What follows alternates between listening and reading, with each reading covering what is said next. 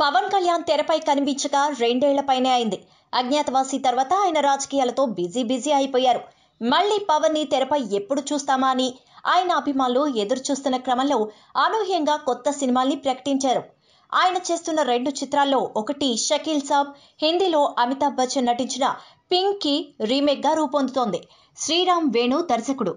దిల్ రాజు శిరీష్ నిర్మిస్తున్నారు ఈ చిత్రాన్ని. బోనీ కపూర్ సమర్పిస్తున్నారు. సినిమా పేరుతో కూడిన ఫస్ట్ లుక్ని సోమవారం విడుదల చేశారు. కళ్ళజోడు ధరించి పుస్తకం చేత పట్టుకొని మాస్ లుక్తో దర్శనమిచ్చారు పవన్.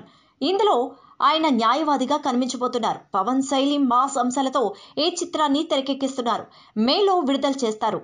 తామన్ స్వరాలు సమకూరుస్తున్నారు ఈ మూవీకి. Oh my God oh my God for more updates please subscribe Telugu news TV